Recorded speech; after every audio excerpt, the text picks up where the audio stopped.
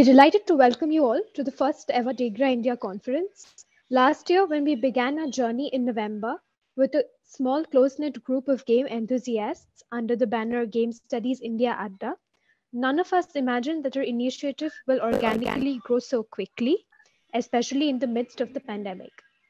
Today, we are proud to announce that within a year, we've managed to organize more than 20 talks, record about eight podcasts, and built a community of game enthusiasts with more than 100 members.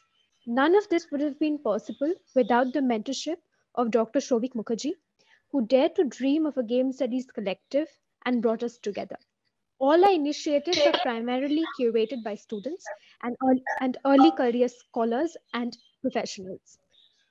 Recently, we began our journey as the Indian chapter of Digital Games Research Association, and we are extremely grateful for the support we have received from them.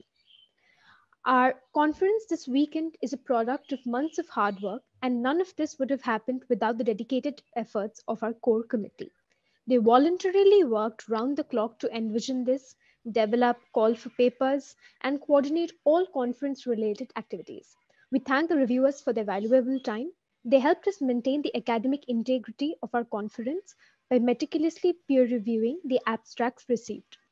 Finally, we are extremely grateful to the DIGRA India community, whose enthusiasm and support inspires us to work towards such initiatives. We hope you enjoy this conference. We have an insightful lineup of paper presentations today and a very exciting keynote address by Meghna Jayanth. Just a few things to keep in mind. Please keep yourselves on mute during the presentation. You can engage with the presentations using the chat box. Feel, please feel free to post your questions and comments there. We would like to thank DIGRA once again for the support, support and encouragement it extended to us. Please keep in mind that this conference strictly abides by the DIGRA guidelines and upholds it, its commitment to principles of aca academic freedom, equality of opportunity, human dignity, and diversity and in inclusivity. We wish to reiterate that commitment to diversity and inclusivity, inclusivity is a shared responsibility among all DIGRA members so that we can create safer spaces and better practices that move beyond academic traditions of exploitation and exclusion. I would now like to invite Dr. Souvik Mukherjee to say a few words. Um, thank you, Isha. It, it is an honor to be uh, actually speaking at the first ever DIGRA India conference. It is like speaking inside uh, in, in one of my dreams, really. Uh, I, I never, if you ever have the opportunity of speaking in a dream that has come true, then you'll know how I'm feeling. So I've started, um, I, I was the lone researcher uh, 20 years ago, over 20 years ago, I wrote my first paper on game studies called Alice and Alice Played a Video Game uh, in, in 2001. And um, I had uh, some very hostile responses and some very positive ones. The positive ones were mostly from my peers. Uh, and I didn't know that uh, this was even worth kind of doing. But uh, here we are. And uh, but I, when I when I left India and I kind of did my PhD abroad and then came back, I came back with the with the one sole mission of kind of uh, starting game studies in India. And over the years, with kind of a lot of uh, struggle that I've faced, a lot of resistance, a lot of struggle, I've actually managed to teach game studies in a place like Presidency University, formerly Presidency College and Hindu College, like one of the most kind of uh, uh, well traditional and and and uh, most kind of conservative uh, uh, academies really. And uh, I, I mean i was just kind of posting yesterday that uh, eight years back i was teaching stalker shadow of chernobyl in presidency projecting it on a wall with my own personal projector extremely grainy and then kind of uh, with a lot of resistance people were just wondering what, what are you doing? And it just it seems to have worked out that there are uh, now 100 members uh, in kind of this community. There are so many people.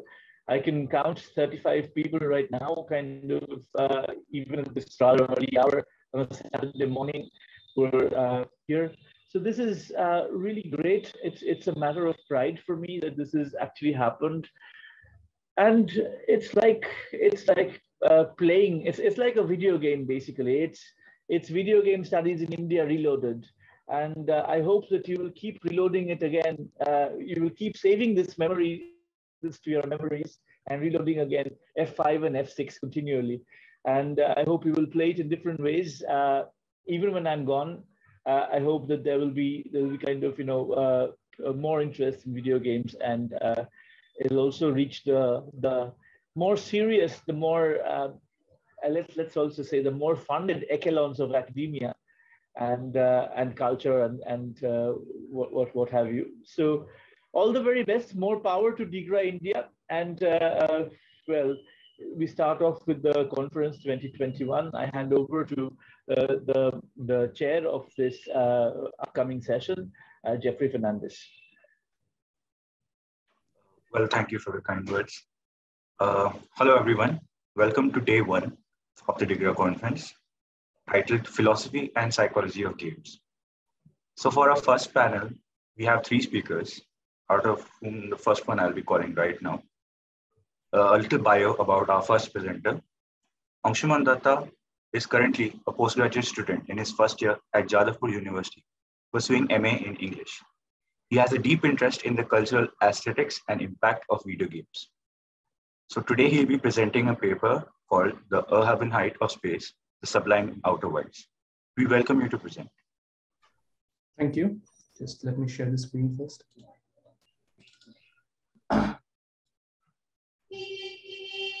Is it visible? Yes, you're visible.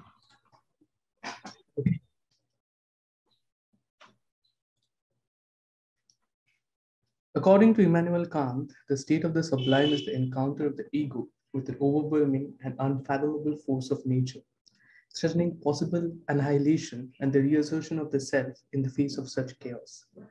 A possible source for this sublime can be while looking at the endless horizon from the top of a mountain, like in Caspar Friedrich's 1818 painting, Wanderer Above the Sea of Fog, or by other events in nature like mountains and storms. In a quick study of the British sublime, the feelings invoked on seeing the Alps would come up a number of times. Christine Battersby states sublime as something that is characterized by awe, reverence, respect, and dread in the face of the infinite or the indefinitely great and powerful. In the sublime, the artist marvels at that which stands at the boundaries of human identity and threatens to overcome it. The question then becomes Is this sense of sublime possible in video games? Video games are virtual constructs specifically designed by humans to be consumed by others. It is as far as possible from where Kant exclusively posits the sublime to be, in nature. In this technological realm, a player is provided with a limited sense of agency and a digital avatar to interact with the game world, acting almost as an extension of the body and mind. The construct of a video game ticks one of Kant's conditions for experiencing the sublime, a distant, uh, distanced observer.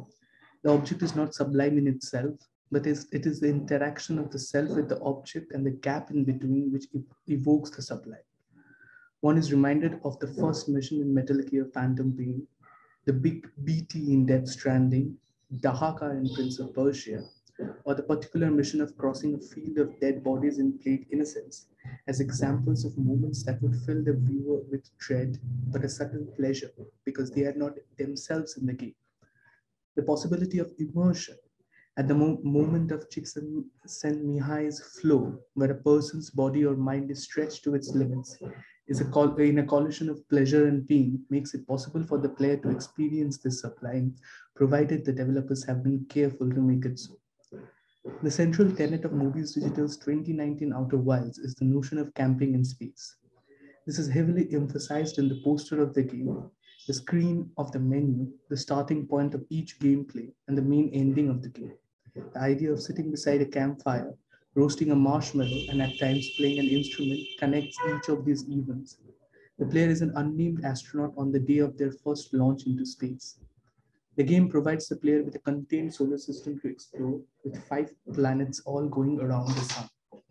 The player, henceforth known as the traveler in the game, follows the space steps of five others before them, part of the Outer Wilds Ventures, who had already left to scour the solar system looking for adventure and answers. Once aboard the spaceship, which feels more like a glorified tin box lander, the player can roam around the solar system. There is no linear way at approaching the game. Players can visit any planet they want to in any order they feel like. The general aim would be to collect information and slowly piece together the narrative. In taking a heuristic approach, the developers also ensure that the players have to learn the basic mechanics and rules of the game. The players are left without any clear-cut clues, and the only way to learn seems to be by doing something, failing, repeating till one gets it right. It is only when the player gets up in space, gently floating and looking around, that the first sense of dread and the sublime slowly descends onto the player. The protagonist is part of a species that have barely mastered the basics of spaceflight. They joke about the crashing and burning of the spaceship, and yet the player is aboard it, separated from a sea of nothingness by merely a few inches of aluminium. You are intentionally dwarfed and made to feel almost powerless against the terrifying vacuum and the unknowable vastness of space. Each planet of Outer Wilds is uniquely built to evoke the sense of awe and even terror which birth associated with the sublime within the players. Brittle Hollow is in fact a hollow planet with a volcanic moon. The moon spews out rocks that are crashing onto the planet's surface, slowly breaking it and pushing it into the black hole that is at the center of the planet. The hourglass twins are binary planets connected by a column of sand that seesaws between the planets, thus the hourglass effect. One of the scariest moments in the game has been when one encounters the sand column.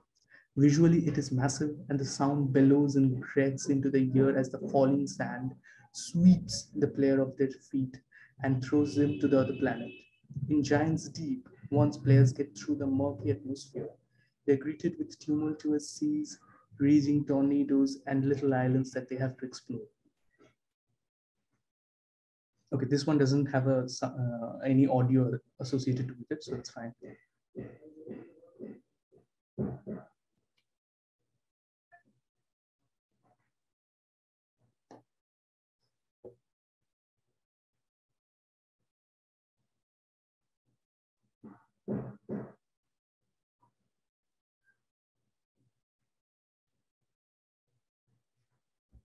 Periodically, the tornadoes, which move around, by the way, will throw these islands along with the player up into the sky. For the first time, it is sure to catch the player unaware as they suddenly find themselves shot upwards and then free falling with the whole island. The scariest part of the game resides in Dark Bramble, the remnants of a planet infected from within by a vine-like growth.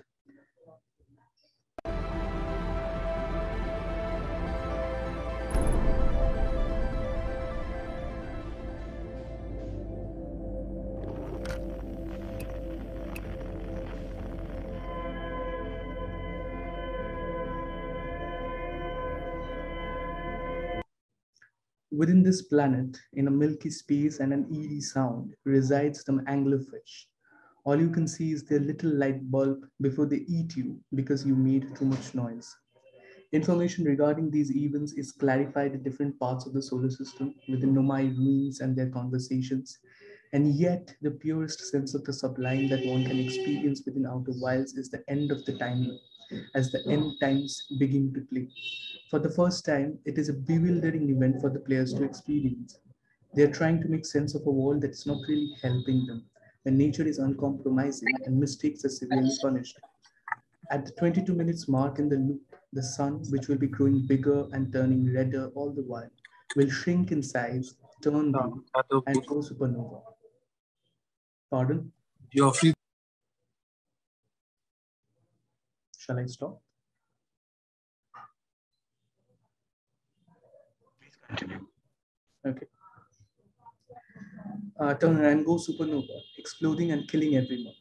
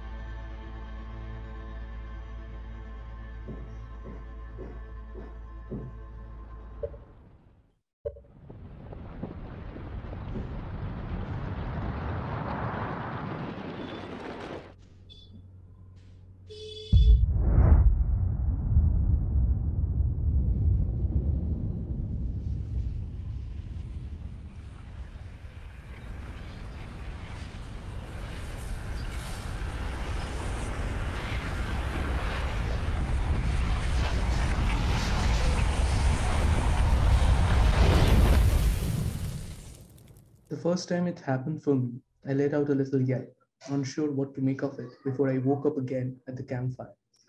With each occurrence, the sense of the dread lessened, even though the time loop meant I am not technically dying. I had to hurry and complete whatever I was doing so I don't have to come back there again next time. And yet, this ev- event of unbridled chaos that I had no mastery over evoked a subtle sense of pleasure. The constant chance of failure, repetition, and death destabilizes the gamer by problematizing their relationship with the object that is the game. Repetition here is instituted both in nature, that is the supernova, and, the, and by the actions performed by the players each time and the differences in them. The failures and repetitions, according to Jay Juul, adds to the experience of play and ensure more engagement from the player.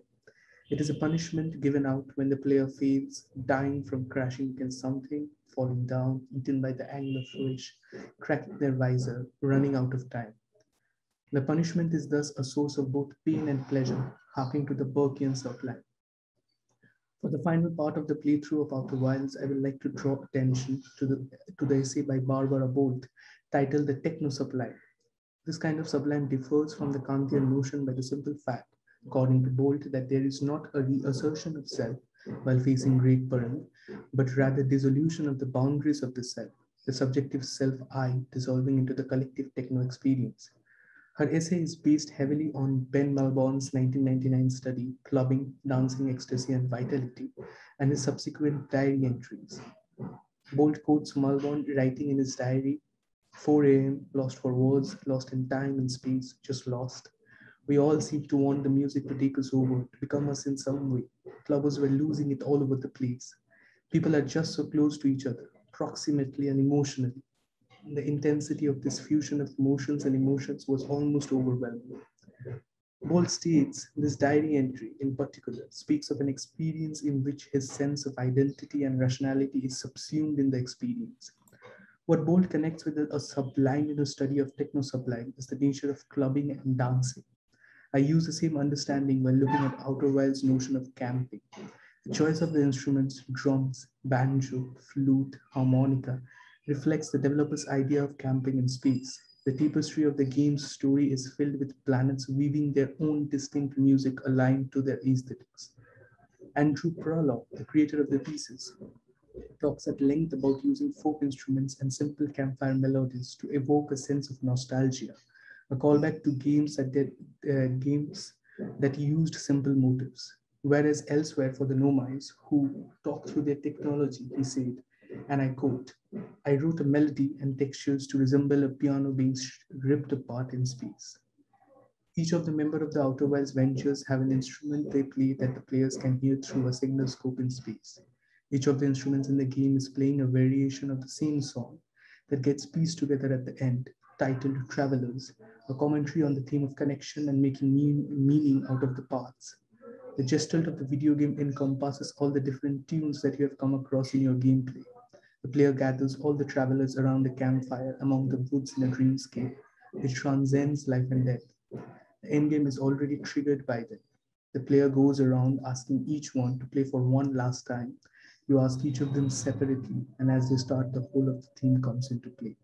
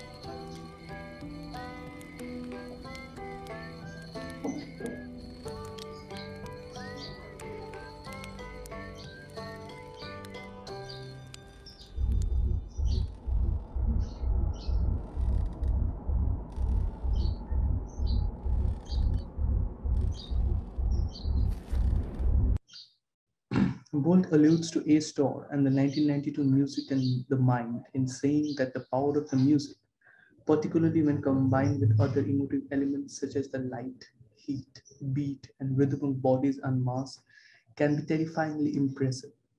Place we just saw out of bounds of space and time is akin to what Malbon says. Space itself, which fleetingly seems as though it has no edges, no end in time or space, yet at the same time only stretches of as far as you can see into the lights, the black walls. In the eye, where the player is at the end, whatever they are seeing does not exist. The identity of the player is subsumed into this collective performance. The player becomes the conductor of that music's piece. The final performance of the music in the game is beyond time or space, existing just within itself. There is no more failure or repetition to deal with or trigger. It is an absolute action that will irreversibly lead to death and life. This pleasure upon pain, the nature of a simple celebration of life with friends made along the way against the background of impending annihilation of everyone involved, invokes both the sense of sublime. The self comes face to face with its own, no longer merely possible, but absolute annihilation. The player in the swan song is not a detached observer, but an eager participant, the one who coaxes the action to take place. Barbara Freeman points out that there is an internal contradiction present in the Kantian sublime, since the very nature of the sublime experience involves a blurring of the distinction between the observer and the observed, and, and contradict the supposed, supposed detachment of the sublime encounter. The game has been a long and arduous journey of failure and repetition and death, which was just a reset when the player takes apart the artifact that has been powering the time loop and then rushes through space accompanied by a haunting piece of melody trying to reach the Nomai spaceship deep within the dark brambles, that is when the realization dawns upon the player.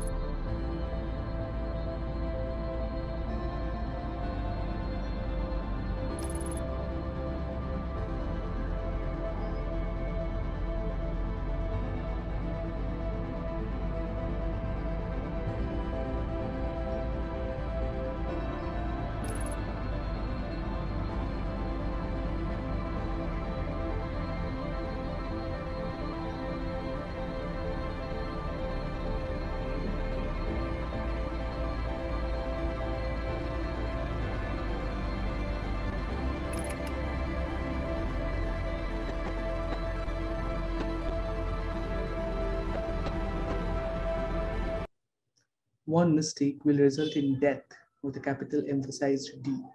It will be game over. But during the performance in the dreamscape, the player is now all but aware that their death is certain. In the performance, there is no longer a reassertion of the self, but resolution of it into a collective experience.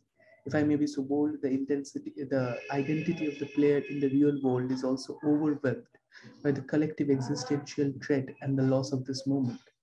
Numerous Reddit posts will support this statement. That Outer Wilds is a clever bit of, of video game design is by is of no doubt.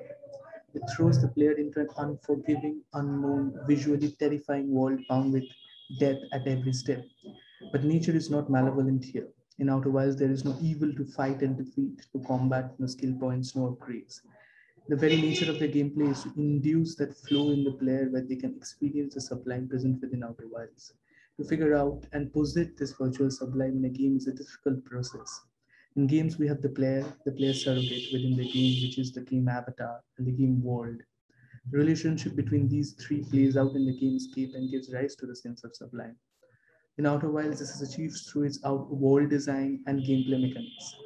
It is a game of exploration and curiosity marked with, this with this sublime aesthetics and the grand horror experienced visually and orally about life and death and everything in between. Thank you.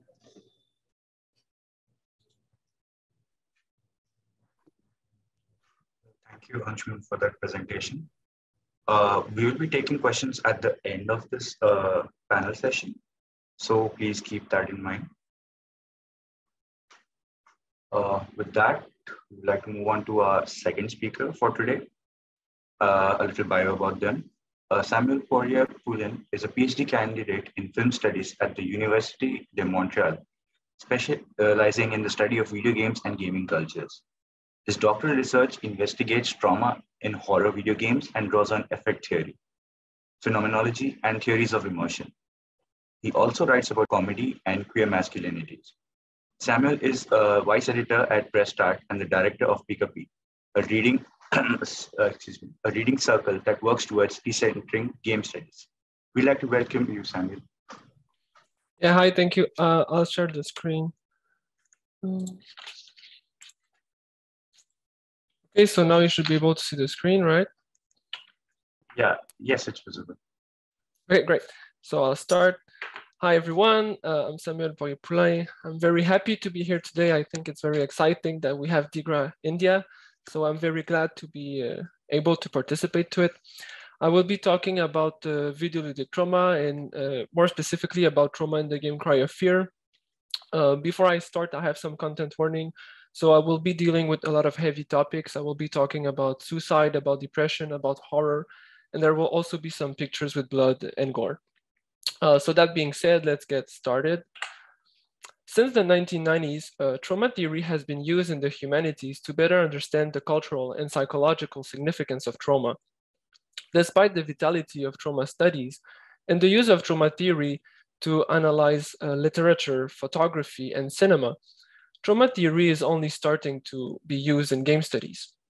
So far, a few scholars have explored the use or design of games to cope with trauma, whereas others have analyzed the representation of traumatized protagonists or the use of the video game medium to generate empathy, guilt, or a feeling of powerlessness. Mukherjee and Pitchford have argued that players of military shooters like Call of Duty 4 can experience some of the symptoms of war trauma in a milder form, including disorientation, tension, fear of injury, and pressure to protect their teammates. Meanwhile, Smithers has analyzed how Limbo incorporates the symptomatology of trauma through its bleak graphics, its soundtrack made of disembodied sounds, and the numerous grisly death of the protagonist. As noted by Luckhurst, trauma seems to be worryingly transmissible. Uh, quote, sorry, quote.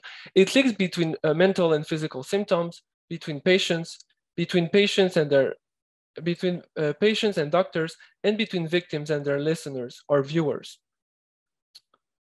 Drawing on horror studies and using the video game Cry of Fear as a case study, this paper suggests that a video game can induce trauma in the player by putting them in horrifying and intense situation.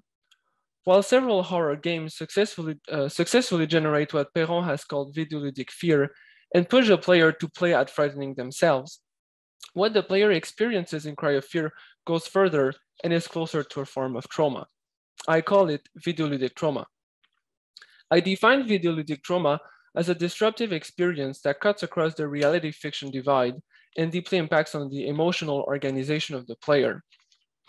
Following Tronstad, my work starts from the premise that video games can leave the player with strong impressions that continue to resonate in them long after the gameplay session is over. Cry of Fear tells the story of Simon Henriksen, a young man who wakes up in an alley and must find his way back home after a man voluntarily drove on him with a car. As the player progresses in the game, they discover that Simon is in a wheelchair following the incident and that the game is a metaphorical depiction of his trauma and his fight against his inner demons. While Cry of Fear generally follows the convention of the survival horror subgenre and requires a player to fight against monsters, solve puzzles, and manage their inventory, the game also contains a few surprising elements notably monsters with fast and jerky movements, extremely graphic scenes, a confusing soundtrack, and first-person melee combat.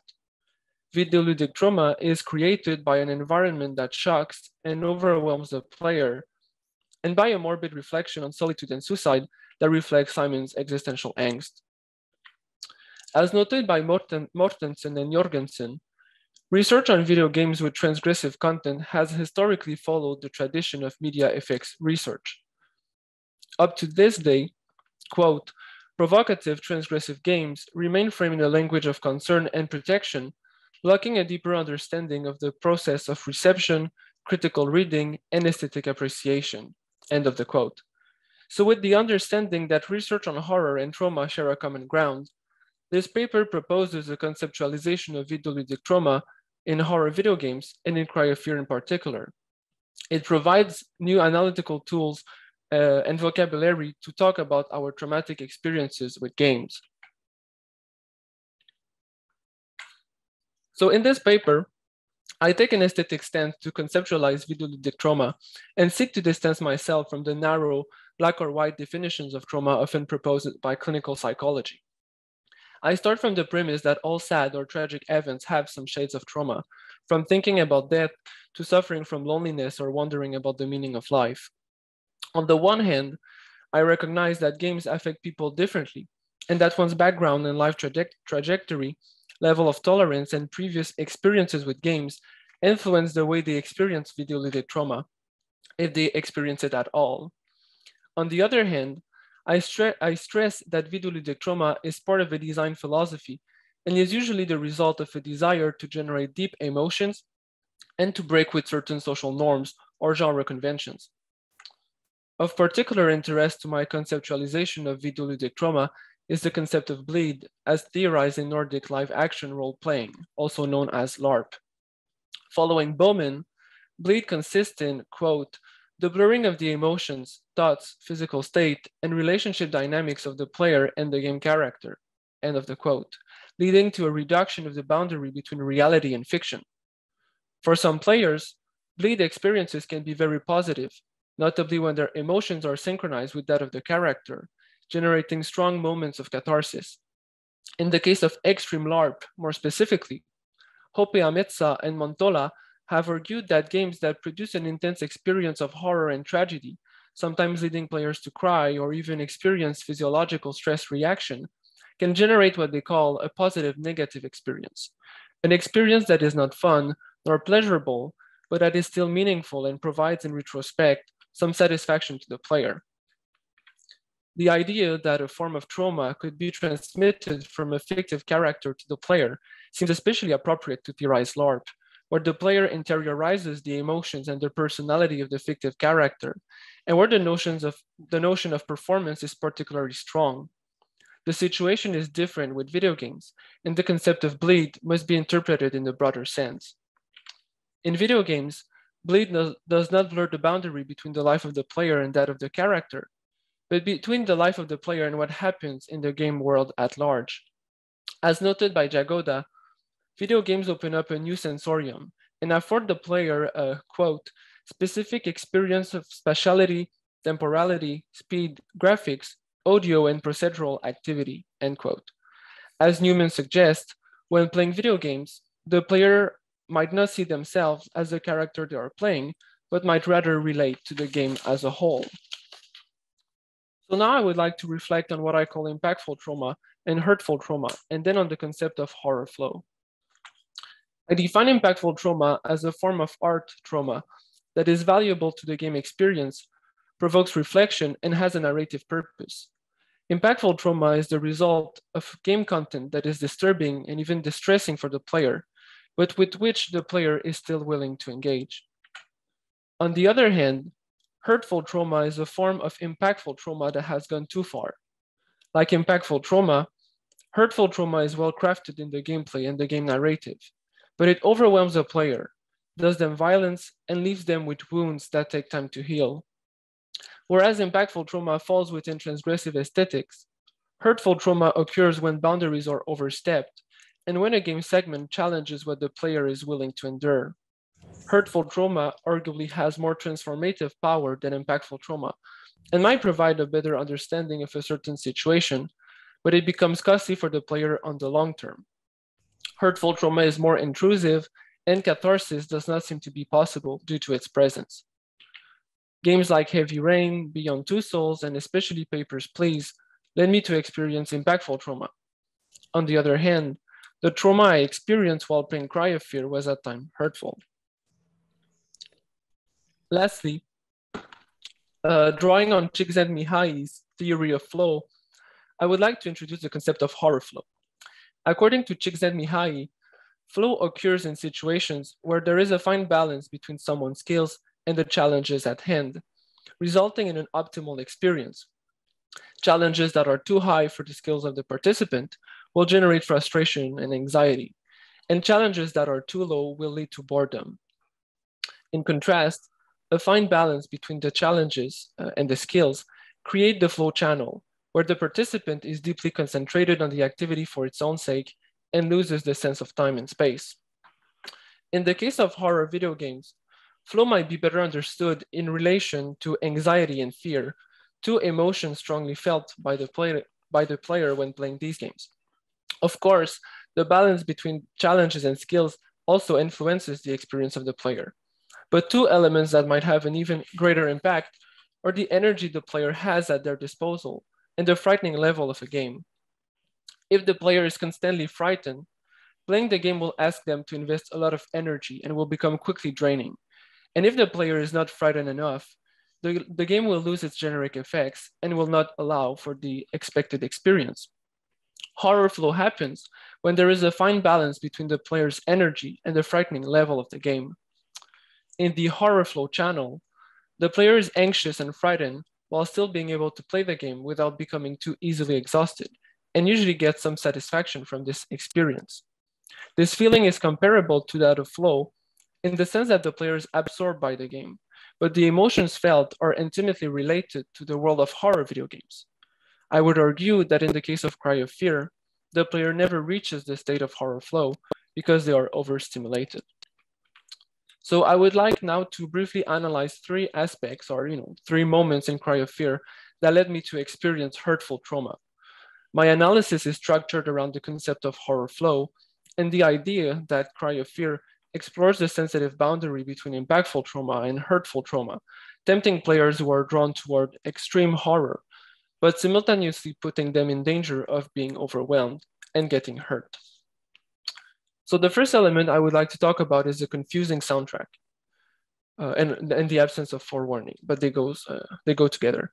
Writing about films, Plantinga explains that music carries meaning and an affective charge and suggests the emotional valence of a scene. Along the same line, Whalen highlights that video games, quote, rely on important cognitive associations between types of music and interpretation of causality, physicality, and character, end quote. Music ultimately helps the player to navigate the game space. Cry of Fear plays with this more conventional use of music, relying on a broken causality to veil oral cues and immerse the player into a universe of unknowledge. The third chapter of the game, for example, start with the comforting music, giving the player the impression that they are safely exploring the city following a bus fight in a disturbing nightmare sequence. It takes less than two minutes before the player gets attacked again. The comforting music stops only once a monster hidden behind a minivan um, screams and attacks the player. This pattern is repeated a few times in the game, but not enough for the player to get used to it. Cry of Fear ultimately displays the, state, uh, the safety state, danger state binary to confuse the player, leading them to interpret the game cues in the wrong way and unconsciously influencing their concentration and their action readiness. The game is also characterized by the absence of a warning system that would inform the player of the presence of enemies. As Perron observes, warning systems have taken uh, different forms in survival horror games. In Silent Hill, the radio of the protagonist starts emitting white noise when, whenever an enemy is nearby, whereas in Fatal Frame, the filament at the lower right corner of the screen glows orange. Other games like Resident Evil do not contain a warning system, but warn the player through off-screen sounds, such as the moaning of zombies, uh, such as the moaning of zombies, or yeah, or the sound of their footstep. Forewarning makes survival horror games more bearable by allowing the player to get ready to face a threat, avoid jump scares, and deduce when exploring can be done in relati relative safety and in a way that is less draining. In contrast, the absence of a warning system and the quasi absence of off-screen sounds in Cry of Fear make the player feel constantly threatened and lead them to always be on edge. As noted by Van Elferen, this sort of game design pushes the player to rely on their own insights instead of those of the game. At the same time, as the player progresses in the game and gets more and more affected by its disturbing content, it becomes increasingly difficult for them to think clearly. The second element I would like to talk about is the first person melee combat. Like many survival horror games, Cry of Fear is characterized by limited offensive resources, and in order to save ammunition, the player is encouraged to use melee weapons. The combination of a gameplay in the first person with the need to use melee weapons makes, makes encounters with monsters more visceral. As noted by Krzywinska, the first person perspective brings the player closer to the horror and reinforces the illusion that it is the player who is being attacked and not an abstract virtual self. Perron adds that games in the first person lead the player to sense textures when they get close to certain objects and to feel touch when their gaze is stricken or assaulted. In the case of Cry of Fear, these observations apply especially well to encounters with the slower, the most common enemy of the game, who attacks the player with a hammer. I could not help but be constantly repulsed by this monster, fear its touch, and be particularly disturbed by the idea of getting hit by a hammer, as if I could feel through my body this monster striking Simon and crushing his bones. During melee fights, the player is encouraged to use their stamina to dodge attacks, making the fights more physical and producing a strong sense of presence. The combination of this combat system with the audio elements previously analyzed generates what Ash has called an intense space, captivating the player and pushing them to become attuned to the game environment to survive the horror. In order to perform well, the player must open their body to visual and auditory feedback and be ready to pick out any relevant detail from their environment, hence putting themselves in a position of affective vulnerability. This space becomes quickly exhausting, leads to hypervigilance and oversensitivity, and facilitates the transmission of videoludic trauma through the senses. So finally, I would like to finish with a more personal example, my meeting with Sophie. As I reached Westpit Gardens, I received a phone call from a stranger. I had difficulties to hear them, but I understood that they wanted to meet me on the rooftop of a building nearby. Upon reaching the rooftop, I realized that the caller was Sophie, one of Simon's close friends. Meeting Sophie had a profound impact on me. The encounters I had had uh, with other humans at that point in the game had been rather disturbing and had all been associated with death. The conversation with Sophie provided me with the first peaceful moment of the game after roughly five hours of terror.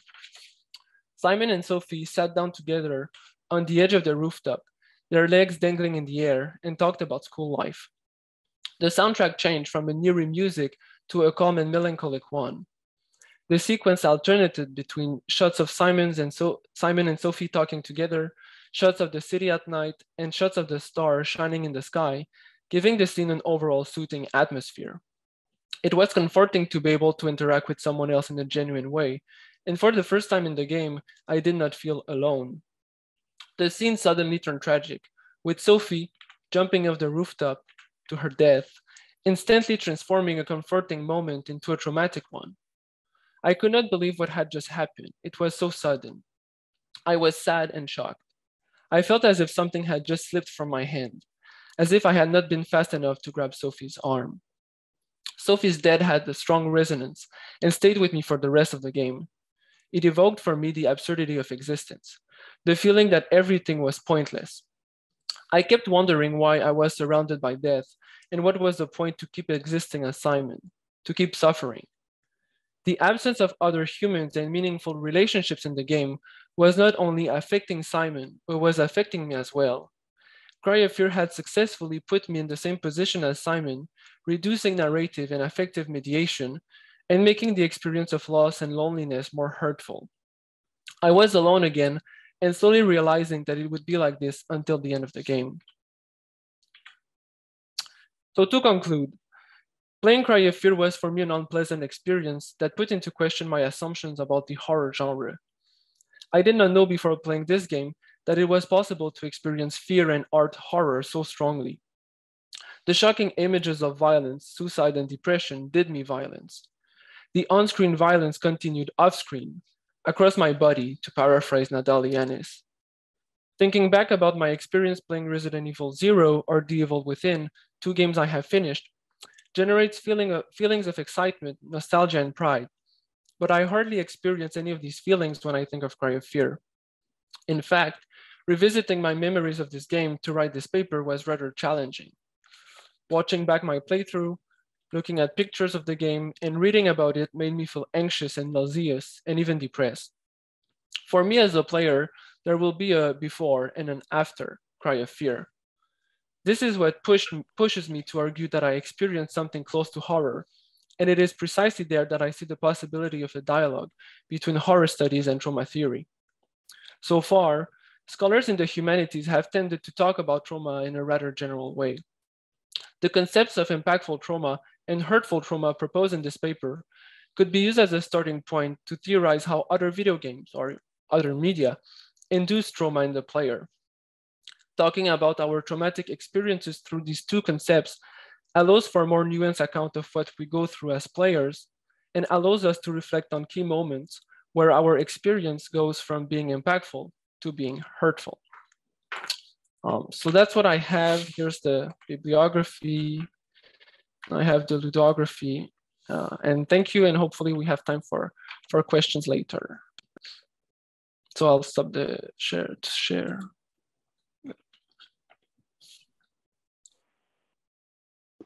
Well, thank you, Sam, for the presentation.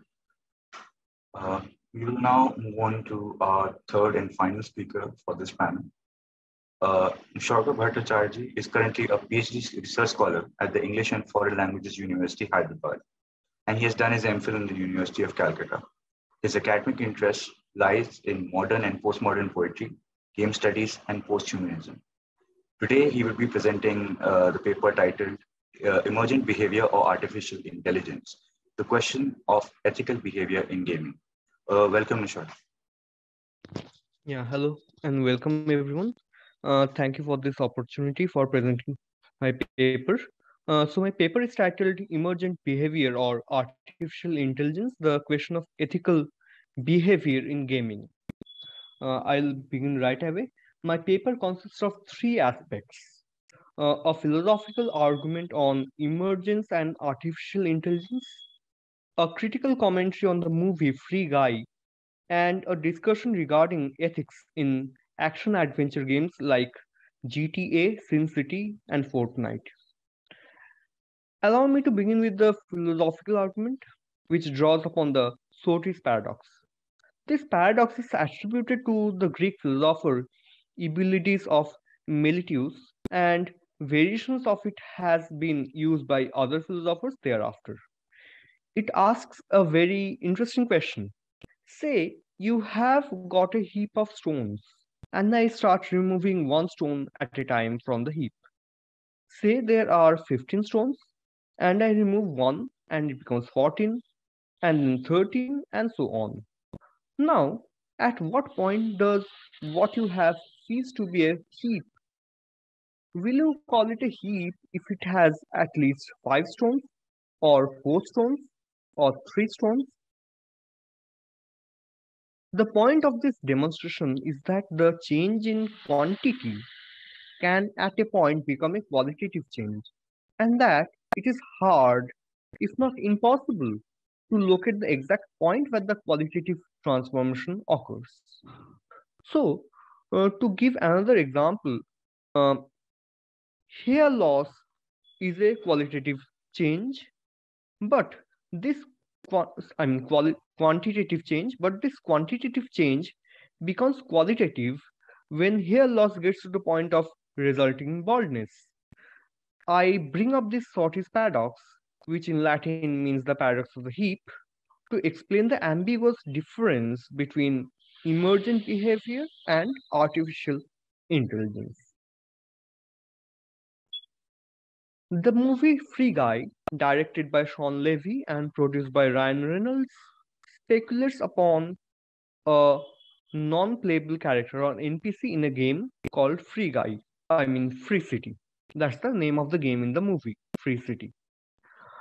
The protagonist, Guy, played by Ryan Reynolds, incidentally attains artificial intelligence. Now, my contention is that the movie confuses the distinction between emergent behavior and artificial intelligence, and that somewhat problematizes the point on ethical gaming behavior that Free Guy is trying to make. Any NPC in a game is set to perform uh, yeah, uh, a specific set of functions.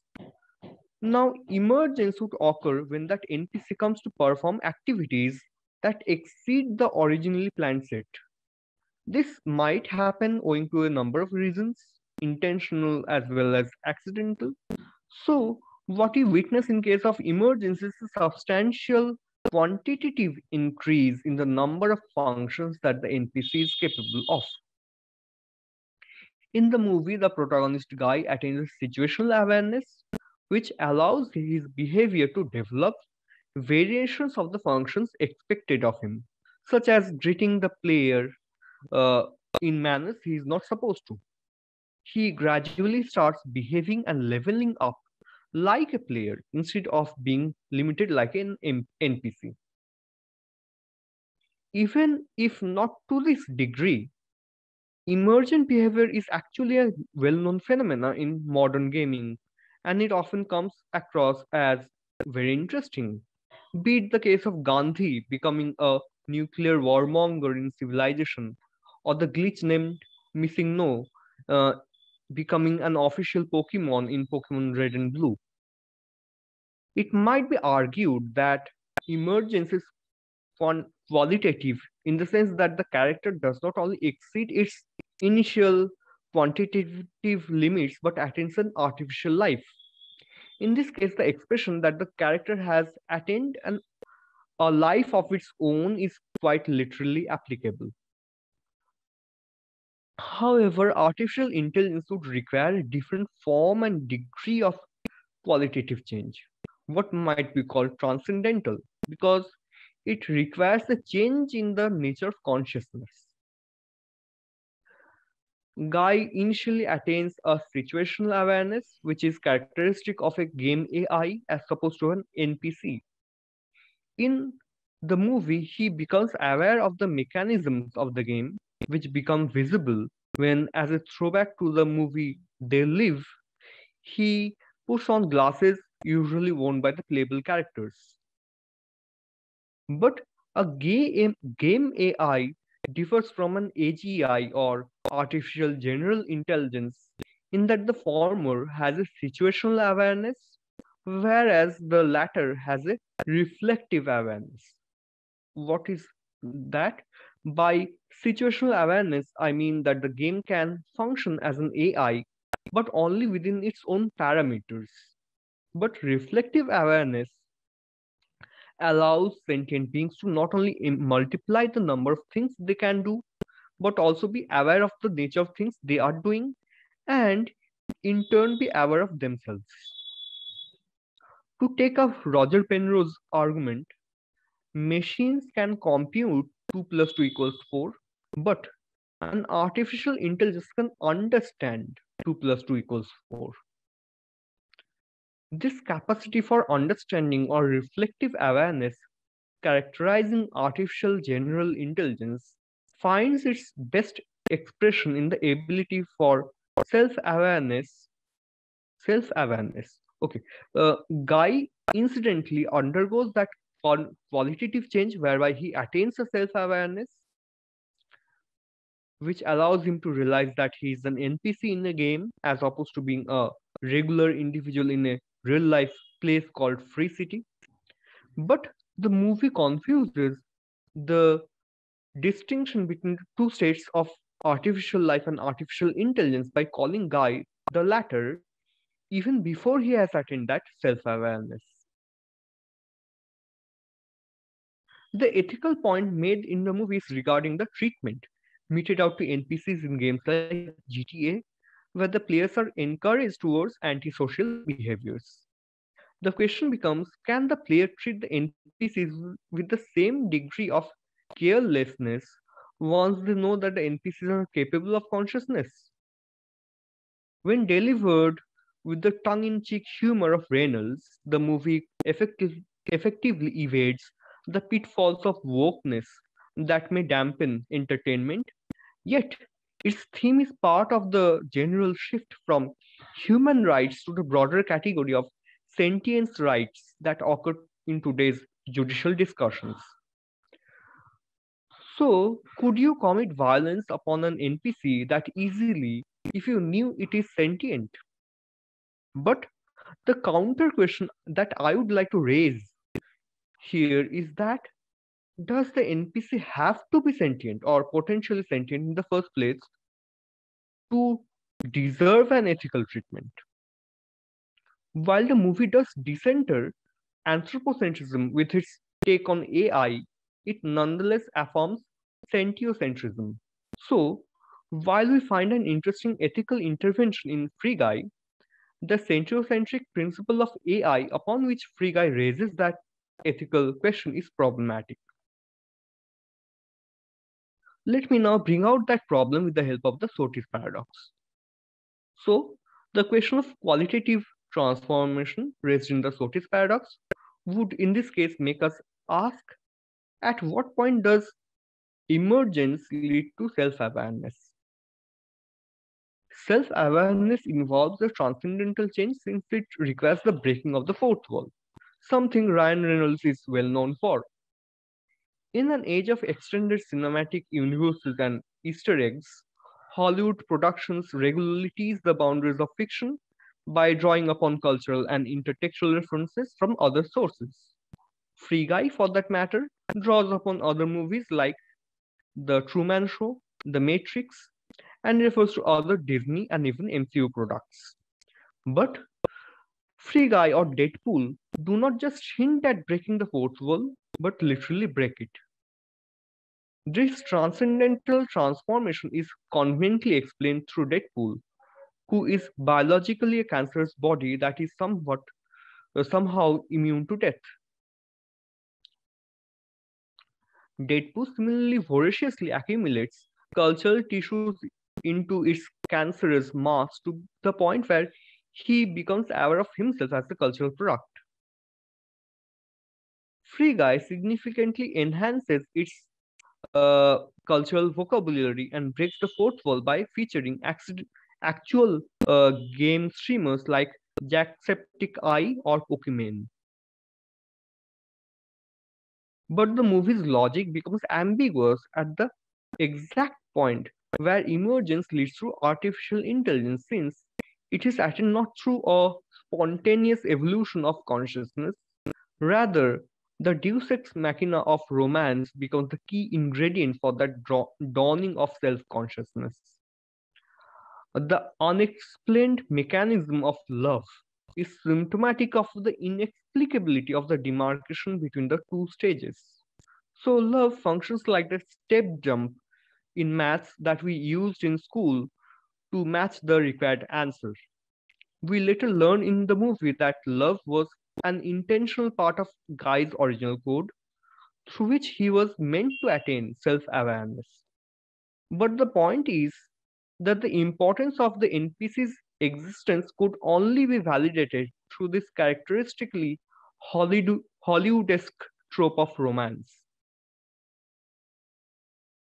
So, Free Guy does open up the very important question of ethical behavior in game and emphasizes the possibility of thinking about ethics through gaming.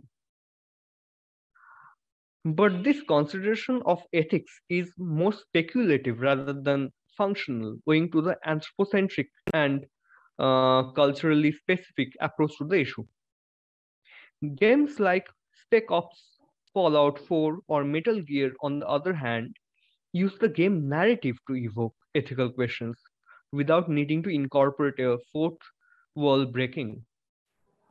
Brenda Romero's series of games called The Mechanics is the Message is also offers an alternative form of ethical reflection, one that uses the mechanics of the game rather than explicit uh, narrative for the purpose. The movie Free Guy speculates about ethical gaming through the idea of a game called life itself, a zero player game in which fully emergent NPCs shall run the entire show, Guy being the Adam in that new Eden of life itself.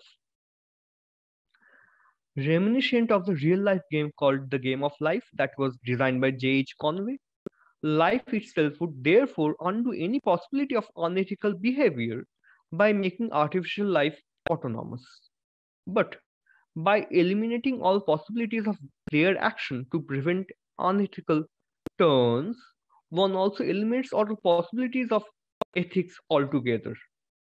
In the absence of any choice making, the ethical consideration once again becomes purely speculative. So, uh, to conclude, the self-referential referentiality characteristic of the film of films like Free Guy offers a new way of interrogating intelligence. But at the same time, it also posits intelligence as something irre irrepressible or irreplaceable rather, uh, irrepre irrepress okay, irreplaceable as in not replaceable as the key point upon which all ethical arguments should revolve around. So that is the problem uh, that Free Guy raises, and it is actually unable to answer that. But it uh, the raising of that problem is very important and interesting for uh, the study of games and especially the study of ethics in gaming. Okay, thank you, everyone. Well, thank you for that pres uh, presentation, Nisarga. Uh, so now we will be taking questions. Uh, please uh, feel uh, free to raise your hands to ask these questions, or you can type them in the chat, and I will be asking these questions. So, well, to get the ball rolling, first we do have some questions. the first being a question for Samuel, and that is by Ishan Purkait. He says, uh, Hi Samuel, thank you for the presentation. I hope this question is not off topic. Spec Ops, the line intended to transmit the trauma felt by the protagonist Walker to the player and make them question their actions. A notable example being having the player walk through a field of civilians killed by white phosphorus. Would you feel that this was impactful trauma that made the players actually question themselves and the genre? Was the game at all effective in this purpose? Yes, hi, thank you for the question. And I think I'm gonna answer to this one, but also there's there was kind of a conversation about this game and about also uh, uh, Call of Duty and the campaign uh, No Russian. So I've not played uh, Spec Ops, but it's definitely a game that has been studied uh, in relation to trauma by Toby Smethurst, for example. Brendan Keogh also wrote a, a book about it, um, Killing is Harmless. It's very, very interesting. Um, so I had read your question and I have this quote actually from Toby Smethurst. Um, uh, so, you know, I, I cannot really say if it's impactful trauma, if it's hurtful trauma, it really depends on the on the player and how they see the game. Um, I have, I would say that Toby Smethurst seems to have experienced hurtful trauma, uh, but you know, what I think, it, yeah, it's very personal, but I'm just going to read this quote because I think it's very interesting. It's from her PhD actually. And so she wrote, uh, about Spec Ops The Line. Rationally, I knew this was absurd. Afterwards, I reminded myself that these were virtual civilians, not real ones. And besides, the game is programmed in such a way that if you want to finish it, you have to use the white phosphorus. But none of this rationalization changed how horrified I had felt, along with the protagonist on discovering the shared bodies that he, we, I had produced. If trauma studies had taught me one thing, it is that fictional events can have real effects on one's outlook and ethics. I have had experiences with or within fiction that have stayed with me for years to the point that I occasionally have to remind my that I have to remind myself that they did not uh, really happen uh, to me. The fact that I felt the need to rationalize my guilt over Spec The Line in the first place demonstrated just how real of an effect the game had had on me. So I think this is an interesting uh, uh, quote because it really shows how trauma stays with you, how it's intrusive. Um, in the case of yeah, the campaign No Russian, I, I don't know how again, I, it depends on player, but I don't know if it really leads to trauma uh, because for me, this is the, the big, that, that's why I'm talking about trauma as saying impactful trauma, but also hurtful trauma is usually well crafted in the gameplay and the game narrative. If it's just something shocking, I'm not sure it has the same effect on you, you know, like the, when you see these very violent games, maybe they are shocking when you play when you play them for the first time, and maybe you are shocked for you know five minutes, or maybe you think a little bit about it. But I'm I'm not sure if it's something that really stays with you. Whereas uh, in the way I see uh, trauma and I try to theorize it, it has to stay with you. So that's why I would say um, for Spec Ops, yes, but for for Call of Duty, I'm not sure. But uh, yeah, thanks for the question. Okay, uh, Aditya has a question. Uh, you can unmute yourself. Hello, uh, am I audible? Yeah, you are. Okay, so my question is for Samuel on the question of uh, on the topic of uh, so if if we can use your the model you presented as a sort of getting into uh, creating a sort of tool for analyzing trauma. Uh, I was thinking that uh, about the tool that how would you factor in customizability in many ways uh, and to to elaborate a bit that what customizable what I mean by customizability is in the sense that for example uh, the environment we are playing in. The uh, for example, if the game is uh, a multiplayer uh, in sort of some that sort of sense, uh, because in fact, Cry of Fear also has uh, co-op campaigns, and so in that essence, so for example i mean i can if even if i uh, change the time of day the the, the impact might be different. Uh, even when i'm playing or in which uh, sometimes difficulty becomes a very important thing accessibility difficulty. These sort of the parameters that can that we can customize on our on our own.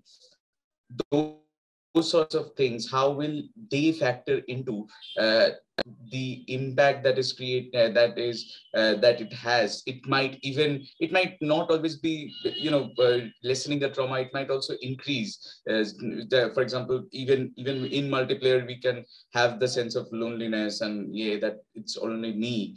So I, I that is my question that how would you factor in uh, these sorts of customizability that is uh, obviously one of the most important aspects of video gaming and interactive mediums uh, into the idea of the tools that you're that you have presented. Thank you. Okay uh, thanks for this is a hard question. I mean i'm not um, well yeah so uh, cry of fear there is the multiplayer mode. I have not played it. I'm not sure i would i will i don't think i would have experienced trauma with it or if you have played it you could maybe uh, mention about your experience that would be interesting. Um, i mean the the way i'm i'm and you know this is like a, an ongoing project. I've this is this paper is based on my master. Now i'm still working on that for my phd um, but so the way i'm trying to analyze trauma is to by having this dual stance so on, on the there's this kind of very personal experience of trauma and um, and that's why and in that sense, I'm using more kind of close reading and autoethnography. And on the other side, I'm also trying to look at um, trauma in terms of in relation to transgressive games and the work of uh, Mortensen and Jorgensen, uh, and look at it from a more for, uh, formal um, formal perspective. So uh, for the so what I mean by that is that I'm I'm it's it's very hard to generalize, uh, and the customization you're talking about uh, like of course will influence the, the way you experience trauma. Um, and that, that's why also when i'm analyzing cry of fear there are when i'm talking more about the sound and about the atmosphere and creating this intense space i think these are example of elements that are more kind of formal. Uh, i don't know if i can say formal i mean like formalist in french i'm sorry. I don't know how to translate it but but like kind of elements that you can i think generalize or or that affect most people Whereas where it's more personal elements like, you know like for me i'm, I'm really I'm, I'm really affected by suicide and by depression. So so for me the the event with sophie had a really strong impact on me. And of course it can have impact on other players as well but i think this was uh, something more personal. Um now for the so you know with this I, i'm not really trying to come up with a model that can take into account everything. Uh, it's it's more about saying like oh this game led me to experience that. And I think there's a dialogue possible between my experience and that of other players. But I think right now the point was more to kind of come up with these concepts that we and we can try to apply them to different games. And sometimes it works and sometimes it doesn't work. Um, and yeah, and and now if you have played the multiplayer uh, uh, mode in Cry of Fear, I, I don't I don't know if you want to talk about it. That would be interesting. I mean, I'm, I'm, I will not take a long time, but I, it, my idea wasn't about just the multiplayer of. Uh, it was, it was about any kind of multiplayer because even in uh, non-horror games, uh, even in multiplayer, there can come up these sorts of uh, traumatic events and experiences. So uh, that's basically that's what I was thinking that uh, because you know these raise interesting sort of problems. Uh, I won't be taking up too much time from the panel, so I, I'm muting right now. Okay. Okay, thank you. Yeah, thank and you I for think, your answer. I, I really like that answer. Thank and you. I think Yes, thank you. And it's a good question about all this multiplayer aspect. I don't really tend to talk about it because I don't really play multiplayer games. But also with the multiplayer aspect, there's also the fact that other players, the way they are interacting with you, and you know, there was the like what was it in DayZ, I think, that they have all these people like, I don't know, get fighting against each other, and you're you're basically losing all your stuff and all the stuff you had in the game you had collected. So this I guess can also lead to a form of trauma. But then there's all the aspect of you know you have to take into account other players and yeah. I'm gonna stop talking. Thank you. Oh, well, uh, thank you. Um, i have a question for Nisarga, and that is that you have mainly been uh, talking about say uh, how effective change can be brought in players attitudes towards this kind of thing uh, npcs and ethics and you have talked about how some of the games also use narratives as a means to kind of uh, bring up that discussion. But uh, what are your views upon how game mechanics can also, you know, contribute to that? For example, uh, in the Assassin's Creed games, there's this concept called desynchronization that prevents you from killing civilians, as well as you cannot harm children in games like Skyrim. So, what was uh, your views on that? Uh, yeah, so uh, when it comes to mechanics, well, ethics uh, cannot be possible. Like, think uh, the ethical dimension won't be there if choice is not there. So, if you in the first place take out the element of choice, like you cannot do that, then there's no point in of ethics there. On the other hand, when I was thinking of this game uh, called the mechanics is the message, uh, for example, I'll give the example of that mm, game called Trains from that uh, series. Uh, in this particular game, what happens is that uh, the player is meant to load certain stuffs on the train. Uh, now, at the end of the game, uh, we come to realize that the destination to which the game is, the train is going is Auschwitz. And the things that have been loaded upon the train are basically Jews who are going to Auschwitz, the concentration camp. So it's the it's not the narrative but the mechanics that reveals the uh, problem or the ethical issue here. Now, in this particular case, unlike Assassin's Creed, uh, the there's no uh, point at which the player is unable to do something. So they have to confront the ethical uh, consequence of what they have done, right? So in this case, mechanics uh, does offer uh, ethical dimension whereas in those cases uh, you have cited i think it's basically taking out of the taking the uh, ethical dimension out of the hands of the player altogether well thank you for that answer uh, next we have Protiti Chatterjee who's raised your hands up you can unmute yourself and ask the question. Uh, yeah, uh, I actually have a question for Nisarga. Uh, I'm sorry if I'm pronouncing your name wrong. Uh, so no, it's all right. Uh, so yeah, uh, again, uh, going back to uh, Joffrey's point as well about uh, Skyrim not letting uh, you harm children, but Mhm. the ethical um, dilemma here that the player undergoes that uh, there is this particular uh, part where if you kill the mother of a child later on the child um, the late, later on the child actually expresses grief Yeah. over her dead mother and accuses you and then refuses to be adopted by you. Later on you can hoodwink the child. You can you know um, not let the child know that you are the one responsible for the mother's death and adopt her. But you can see the grief on the child's face and the words that the child is saying. So you can uh, the, the grief is projected. The again um, coming to uh, samuel's point the trauma is projected. So here even the uh, in skyrim especially even the npcs even the minor npcs they show they are capable of grief they are capable of uh, trauma they are capable of uh, expressing their grief as well.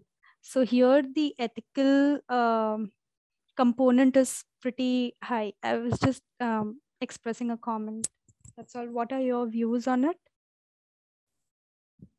Yeah, absolutely. Uh, mm, this is a nice example of the narrative uh, mm, revealing uh, the ethical dimension of gaming, and I think this is a new and important direction that's that gaming is taking, um, because uh, well, games are generally thought of as uh, things which are outside of the realm of ethics, and therefore not taken seriously. Uh, but this new direction because now we are realizing that games can be a medium, very important medium, and uh, for contemplating thought, uh, contemplating uh, serious dimensions of life without like making the game uh, not entertaining anymore or so such, such things. So that's um, thank you for the example. That's a really interesting example of the narrative really making one think rather than simply enter- be entertained by a game. exactly exactly uh, thank you so much for your response Thank you. Thank you. Uh, well, uh, so far we have uh, Arithro uh, asking a question, and then we do have Souvik Mukherjee who has a question for Angshuman. So we'll start with Arithro first. Hello, my question is for Angshuman. Uh, my question is basically when when we're talking about the sublime in uh, Outer Wilds, uh, one of the interesting thing, interesting problem for me that comes here is that uh, you know the question of uh, the grandeur is decreased by the specific time mechanics that is present because it isn't like we are given a huge vast spans of time rather we are giving give, given 30 real life uh, minutes. So that is my one of my uh, uh, points about uh, how would you, like factor in timing in the question of sublime in outer wilds? In the sense that uh, for example temporal mechanics are very novel and uh, very sparsely used in across video games. And most of the time the time maker time mechanics and time uh, timed missions are very controversial. But the whole game is sort of uh, here is a is itself a time timed mission. That the whole game is a timed mission. So my question is that how would you factor in time in the sense of sublime uh, in the in how how time helps in uh, presenting and portray, uh, portraying or reinforcing uh, the sublime in outer wilds thank you Uh, that's a nice question. In the 22 minutes uh, time loop that we have in Outer Wilds, the first time you realize that you're stuck in that little bit of a time loop, uh, it's, it, it induces a sort of, first of all, a curiosity why what is happening, and then the dread. And uh, as you walk through each loop, figure trying to figure out what happens, that dread persists at the ending uh, at the ending of each loop which i was talking about that let's say if you have played the game uh, let's say you're deep into the caves of uh, one of the hollow man, uh, one of the bi binary planets, or in Brittle Hollow, you're in the Lomain Winds. You have uh, taken time to go there, and then you messed something up, and now you're running against time. You're right; it could have been more time. It would have given the the players um, a little bit of more time to experience or explore the place but that limited sense of time is very necessary to have that uh, the, the experience that Outer Wilds was trying to create the, the, the notion of hurrying, the notion of uh, trying to figure out as much as you can before everything is sets back. That is one point I would like to make. The second is because of the time the other sense of awe that uh, I felt, and I didn't mention in the paper, is you are reliving uh, the same day again and again and again and again till you figure out how to stop the time loop and change everything. But uh, so your memories get reset or replanted back into your head or the protagonist's head, and then you relive the day. But nobody else can believe you. Nobody else knows what is happening. And when you tell them, they are incredulously looking at you and thinking that you have gone wrong in the head. And if I remember correctly, only one uh, other NPC in the game is actually aware that they are stuck in a time loop. And when you find them, when you talk to them, it just feels like you're connecting with someone who knows what is going on. And you have been all alone all throughout your gameplay. Nobody knows what is going on. Nobody is aware of anything. You do not know what, who to talk to, who to connect with. You're only looking at vestiges of the past past conversations, ruins, which I uh, mentioned in the answer in the chat. The ruins, you're constantly look, going around and looking at these beings that were there, but they have died. You do not know why. You're constantly stuck. You cannot even die. You cannot even properly live. So this time loop mechanism is very, very interesting and very, very necessary to create this sense. And uh, it, it just it just enforces the, the kind of an existential dread kind of uh, loneliness in you, you're already very alone in space, and the music is the only thing that is making you aware that there are other people on other planet. You're already very alone there, and all you can hear most of the time is your own breath and things like that as you walk around. So you can't even connect with anybody else. So that becomes a huge uh, aspect while you realize.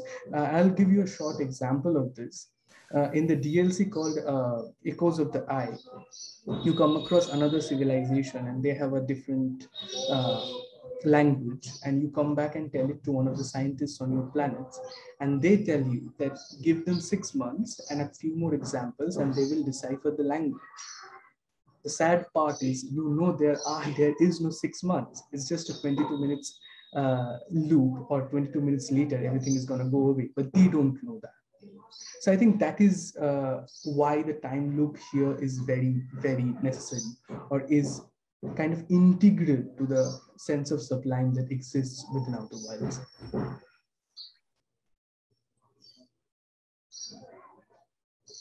Thank you for that answer, Angshuman. Uh, and I think we have one more question for you from Souvik Mukherjee. Uh, so, Souvik sir, could you ask a question? Uh, um, Jeffrey, yeah, uh, I think he's already responded to me, but I'll ask it because uh, then everyone can hear it.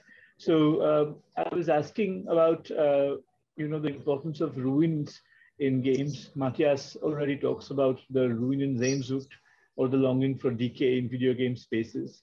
And I've also asked about Daniel Vella's concept of the ludic sublime. I'm sure you've looked at it, Angshuman, where he talks about the aesthetic effect resulting from a foregrounding of the sense of mystery. And uh, then uh, also, uh, you know, uh, Vella also talks about the Gothic sublime in Dark Souls.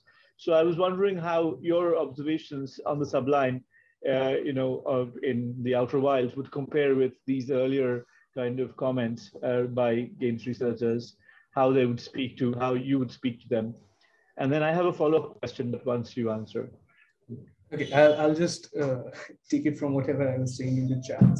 Uh, the ruins are a very uh, interesting part of Sublime and uh, I, I kind of quoted, paraphrased from this person I had checked while uh, reading upon Sublime for my master's and for, while I was doing this paper was from a person called George P. Landow, professor of English and history of art. Anyway, he talks about the different forms of sublimity that there are in ruins. So he says large ruins, like uh, he, he has a picture of it, produce the elemental sublimity of size. And I already mentioned the idea about size and how the spectator or the player is dwarfed. That is very important in uh, this in eliciting this sense of sublime.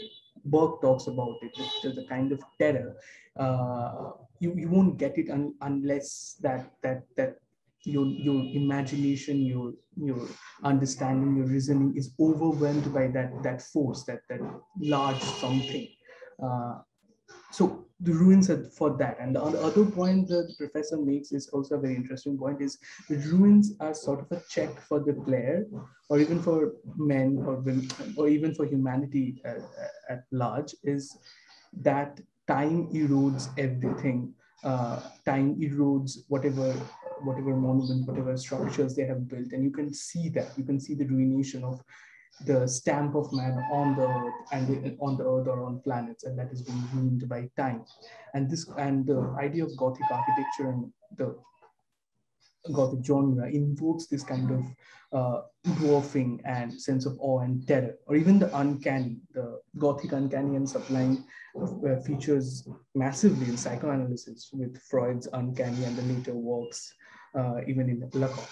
So that is one of the things I was uh, I talked about in the chat about the ruins of the Nomai cities and places, and the other one was of Dark Souls, Vella.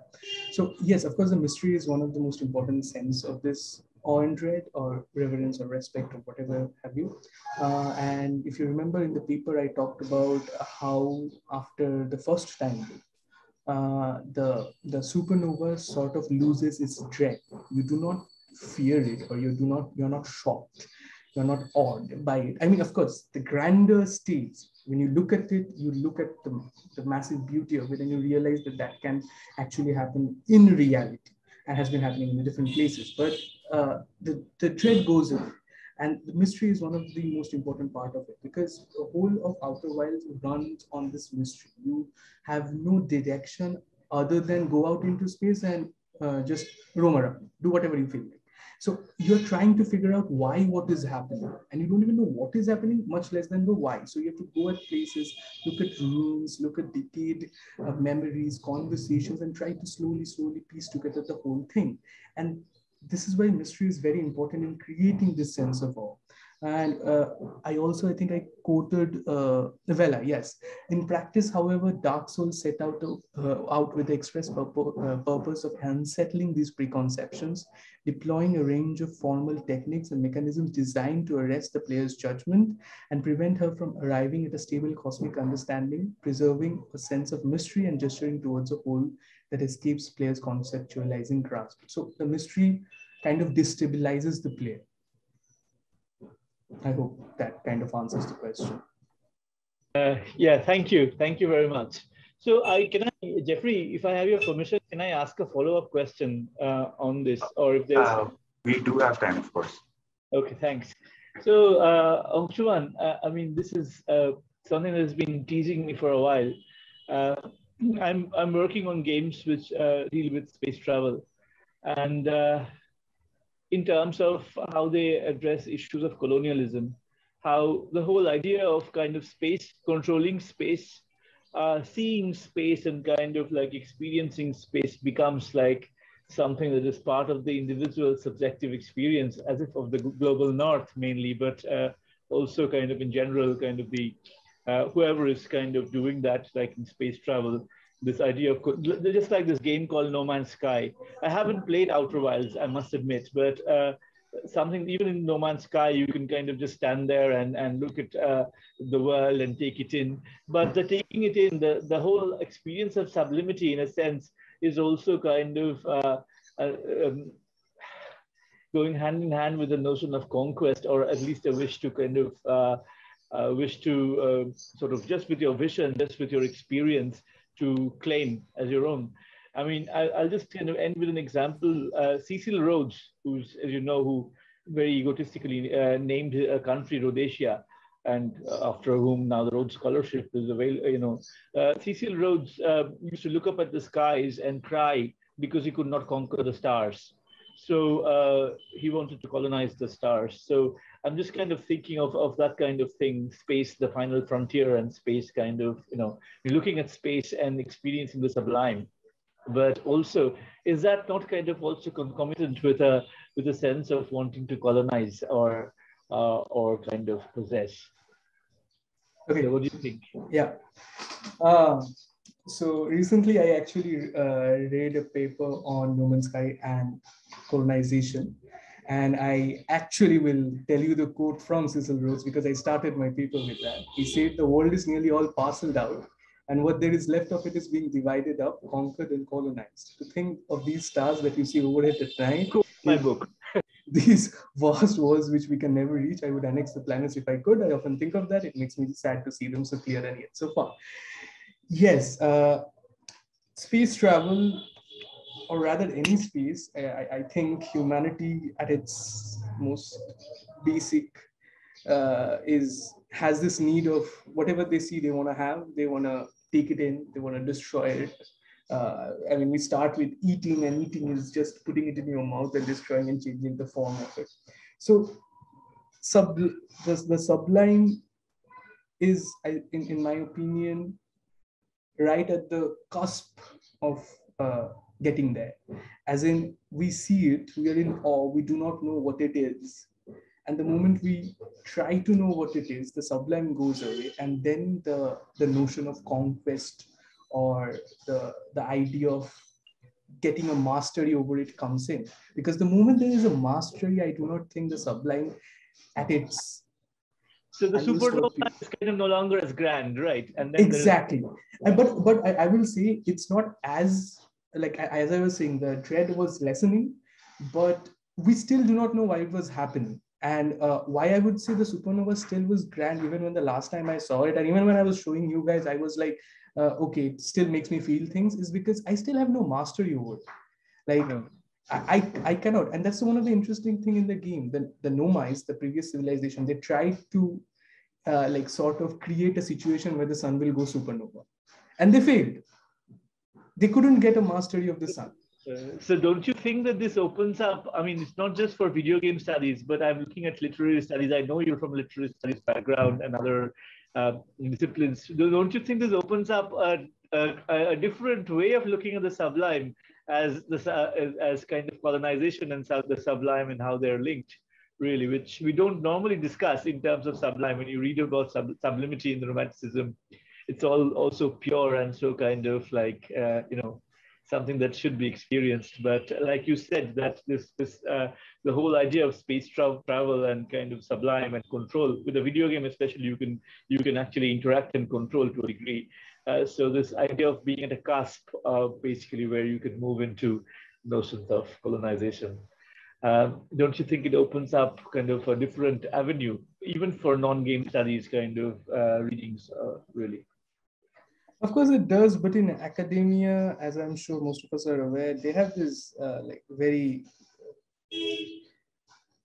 compartmentalized, romanticized notions of theories that they don't want to get out of, and uh, they will always try to take whatever you, if you're saying something that is perverse and perverse as it, I mean by not the following the traditional norm they will either cast it out or they will just see and see that somehow or the other that has been prophesized or predicted by the the central notion of maybe they will take it back to longinus sublime i do not know but they won't be very happy about us doing these kind of things and it's sad because that conference that, is perverse but uh, but i'm sure kind of there's a lot of lot of kind of uh, space for the perverse and the yeah. playful is also often perverse right yes the concept of play is perverse in some respects so uh, yesterday, someone was telling me that in Christian theology, apparently there are uh, uh, you know comments which say that play is evil.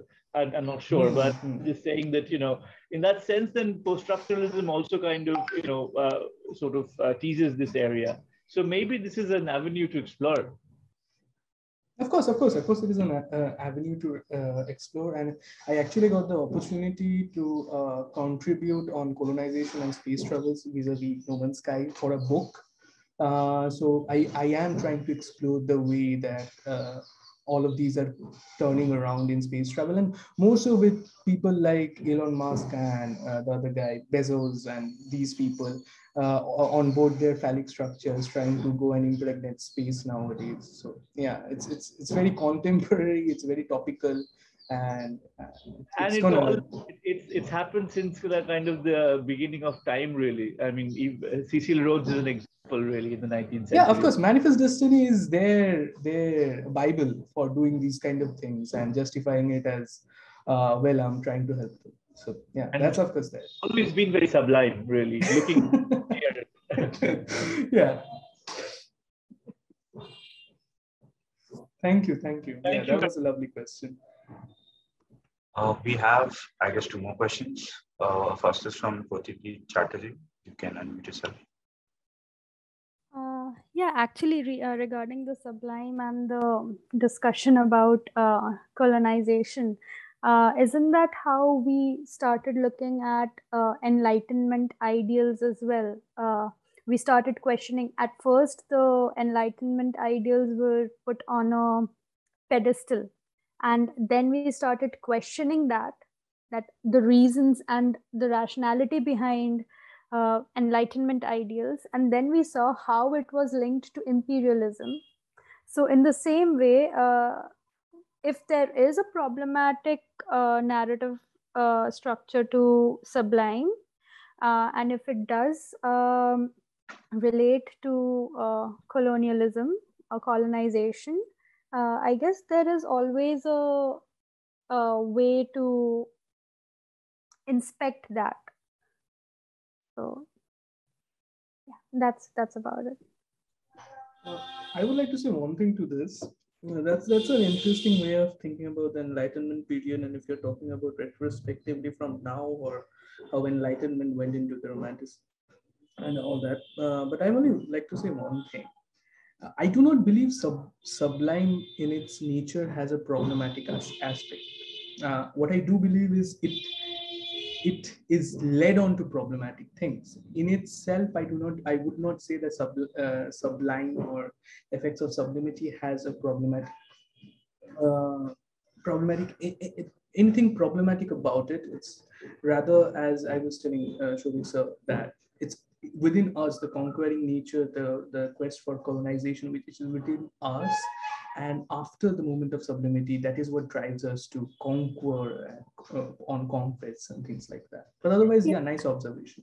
Yeah exactly. But then again it becomes the signifier signified uh, debate right? So if uh, the signified has changed then obviously it's because the uh, the word sublime has had some um, you can say uh, has had some kind of uh, ideology behind it or some kind of uh, hegemonical uh, influence behind it. And that's why we have started construing it in another way. Uh, getting my point. Like in the uh, novel by orwell 1984 the words itself aren't problematic it's how they are being utilized that's being problematic. So if if sublime and colonization are being linked i think it's something that that can be investigated further. I'm not saying that uh, uh, it starts out as I, I get it that sublime and its um, and uh, its elements uh, were not problematic to begin with but it did become problematic later on so uh, maybe investigating how it became problematic why it started getting associated uh, in certain ways, uh, I think that can be investigated. Yeah, of course, definitely that can be investigated. Or it's, it's not started getting, I wouldn't say it's started getting associated, but we should be making these associations and links to see uh, these things can be further. But I would like to say one point is you said that in Orwell words to, are not problematic, but how they are associated. So the signifier signifier relationship is already always being deferred There's a Hmm. breakdown in meaning making and everything. So by that same logic, sublime is not problematic. It's Hmm. what we do with sublime that becomes problematic. It's how we Yeah. associate sublime and how we act upon it that becomes problematic. So again, the idealized romanticized notion of the absolute meaning will always remain pure, eh, always remain pure and not affected by these things. Then anyway, yeah, it's very important to uh, to as Souvik sir said to sort of go so sort of investigate the other parts of sublime, how sublime affects these things that have not been uh, as well looked at or investigated in uh, canons and traditional academia. Yeah. Definitely. We have a question from Shoiga. You can unmute yourself. Yeah, actually, I wanted to uh, point out that Kant actually makes a distinction between the sublime and beauty. And he says that there are two forms, forms of sublime, mathematical and dynamic. But sublime is ultimately incomplete, and the complete part is beauty. Because sublime is something you cannot comprehend. When comprehension is complete, then it becomes beauty. Now, when you think of beauty, that actually is a much more colonizing idea in the sense that you have actually understood the other whereas sublime when you come to the sublime uh, it is incomplete and it recognizes that understanding has to stay incomplete which is why i see think romanticism tilts towards uh, the sublime as opposed to the beautiful. Uh, especially if i may think of blake's the tiger something we have all read. Uh, blake think, think, speaks about the fearful symmetry of the tiger which is absolutely sublime. And see this tiger's sublimity is so powerful that he resists the colonization of the uh, night. Like the night he resides in. So the stars would intervene into the night and are unable to intervene into it. So for it's understandable that blake does not like kant. He has made points against kant again and again.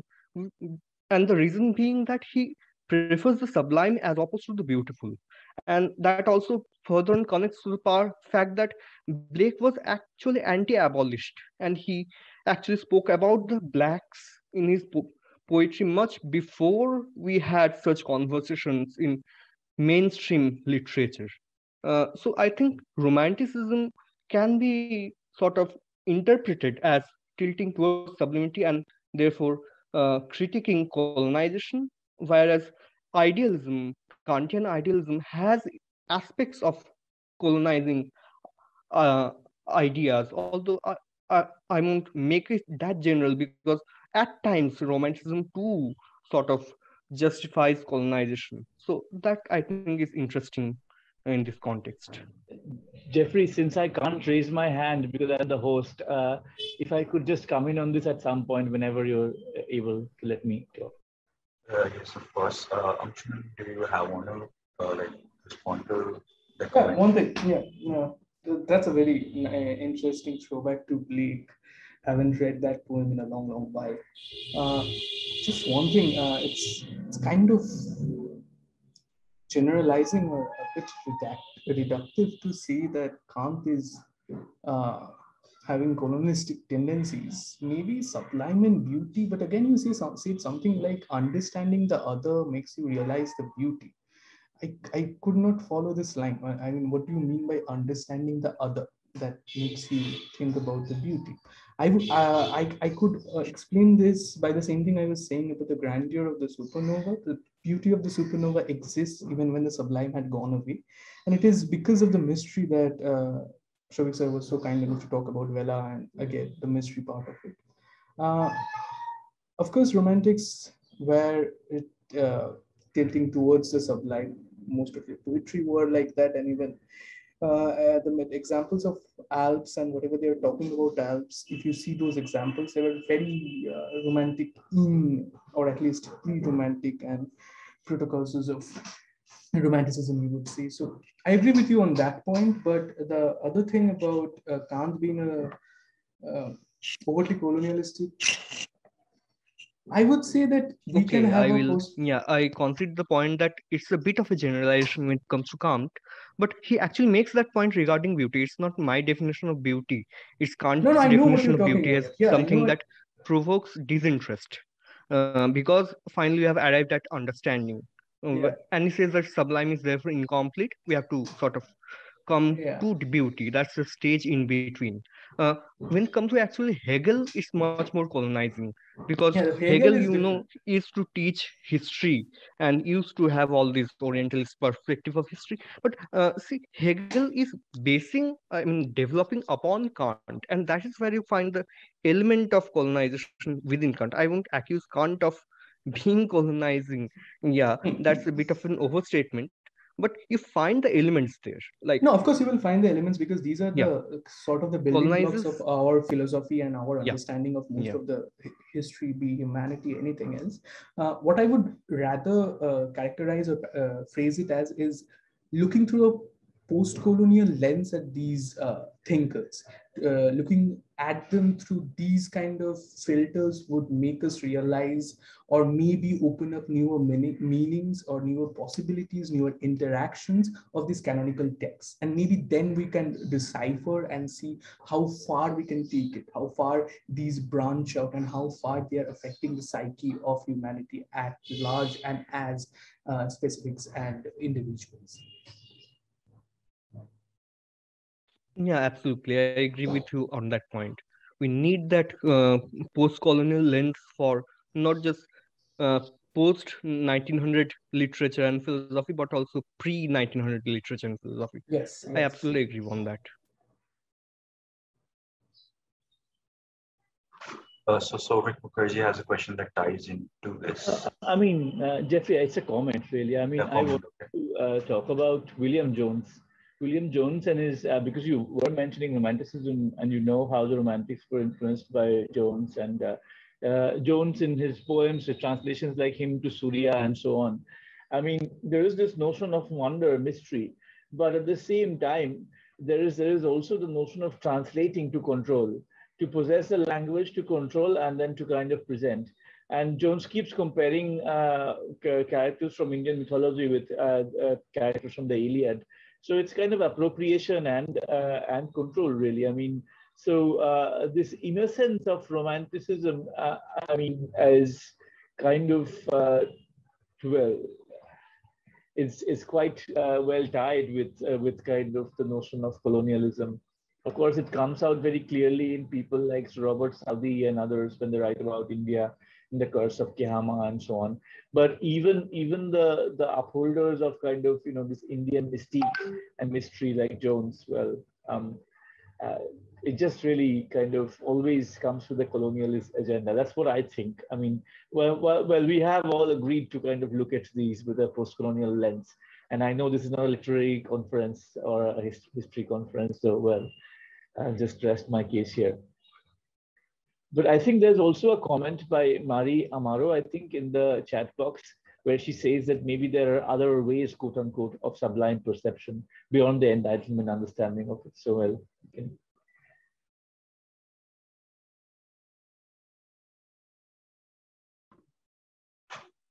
Uh, okay, and I think we have one question from Aditya. Yeah, my question is to Nisarga uh, about the idea of ethical gaming, and in the sense that uh, that uh, when we are gaming ethically, uh, are we actually being too very much ethical in the sense that, for example, people were talking about how uh, gameplays uh, games have the game ethical uh, uh, aspects built into their game mechanics. Uh, I was thinking that what does this build building ethics into game mechanics make the player themselves very much very ethical in in their own sense in the sense that uh, for example there can always be you know uh, make countering ethics uh, ethical giving itself into a point of uh, you know it become doesn't it become calculative that we are calculating okay so these parts are mathematically calculating i'm calculating these parts as ethical and these parts as non-ethical. Uh, i was thinking about uh, games for example where uh, these go in the different aspect. For example papers please or darkest dungeon where you know being ethical is uh, the way to uh, is very hard to uh, continue and rather and and in in the sense that they have subverted this building ethics into the gameplay game mechanics. They have subverted it by making unethical but then again legal to some extent. Legal quote unquote uh, portions as their ethical groundings. And was I, that's what i was thinking that does playing games where unethical aspects are built into the game mechanics make game players more unethical? Or even when we are playing games where ethical aspects are built into the game mechanics make us more ethical in the sense that uh, and at the end we can also you know uh, we are not are we engaging philosophically or uh, introspectively to the ethics or we are just okay so these are the mechanics these are or are we at, uh, approaching them as sort of like a spreadsheet? So okay so i have to do this this and this so i will get this and that and these things. So that is what my uh, that is exactly what my question is. What would you say in res- with respect to uh, the paper you presented uh, about this behavior translating or not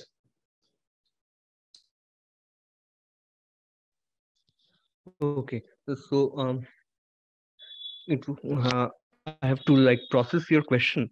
Um, uh, well, uh, I believe the ethical uh, considerations they come up as in terms of perception, like how you you see the game. It's not necessarily built into the game.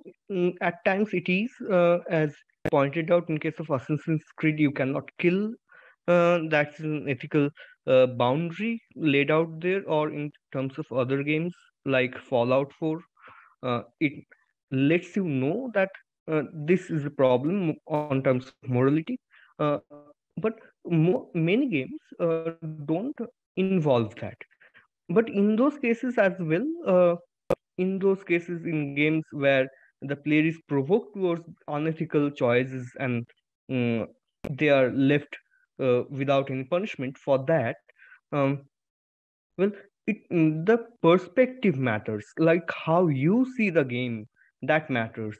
Uh, and i think there has been a general shift towards this direction in gaming because we haven't been thinking or speaking about this before but we are doing that now. And game developers are recognizing that which is why we have uh, actually movies like free guy or games like that we which uh, recognize that. But even when they do not the uh, the player can do so or the interpreter can do so can think about it. Uh, but on the other hand uh, yes uh, mm, i think believe you're speaking about the fact that when these ethical boundaries are laid out the gaming experience sort of gets hampered right? I think you're saying something like that. So in that case uh, yeah, it is also a drawback that sometimes in when it you put it too much on uh, like you sort of point it out when the game developers sort of point out that okay this is unethical that takes out you out of the immersive experience of the game. So there's certain balance between entertainment and ethics that needs to be uh, sort of um, kept to develop a game which is in that sense successful. Uh, was I able to uh, answer I, your okay, question? I, the thing is that I when I, I wasn't going into entertainment, I was rather going in the other side. That, for example, Yeah. there are many games which try to uh, you know go into the question of, for example, if if, I give an example, for example, South Park, the game that has been made, Mhm. uh, it, there was a controversial uh, choice of uh, you know making specific ethnicities uh, as difficulty modes. So that was a satirical, controversial choice. And in fact, they made it obvious, but those kinds of things have always been in place in video games, uh, in other video games too. Uh, so I, that that is the that is the problematic aspect. I am also trying to think that uh, when games go into these aspects, I'm not talking about immersion or uh, you know obviously these have immersion if we are taking into real life because it's literally real life uh, are being put into video game uh, logic. Uh, but i'm it's less about entertainment it's more about uh, how it's a it's a very ambiguous mm, land uh, if i'm getting into it uh, because at the end of the day it's at the end of the day it's a role play. How, how much we are role playing in the sense that we are uh, essentially role playing someone who has some people who are uh, whose identities have been you know oppressed socially. So or historically. So that's what i was thinking that uh, when we're talking about ethics and thing uh, does uh, this role play mean that we are being you know we are allowing the players to engage it ethically themselves or are they going to go through it as sort of a different uh, obviously as you say correctly pointed it out it's a, bit and obviously at the end of the day depends on the player. But i was also thinking on part of the developers or or the people who are making games uh, uh, bringing into consideration these sorts of aspects because these are somewhat problematic in, in that sense because we are essentially you know gamifying oppression in a sense. So that is that aspect of it i was thinking while talking about ethics in gaming. Uh, yeah uh, so yeah um, i believe we have now arrived at a point where uh, we do not depend upon the game developers anymore to dictate our moral compass. So we can actually now critique uh, the gamification of oppression or the gamification of prejudices. We have arrived at that point. Uh, um, yeah, so that is what I think is very important because we are now having a discussion regarding this. Uh, that uh, and that means that the player have come independent of the kind of choices and the preferences that the game is dictating. Uh, that I believe is a very important development.